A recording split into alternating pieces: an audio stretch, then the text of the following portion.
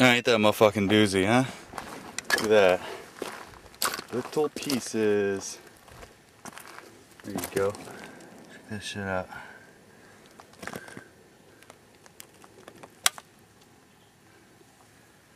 The old Mauser.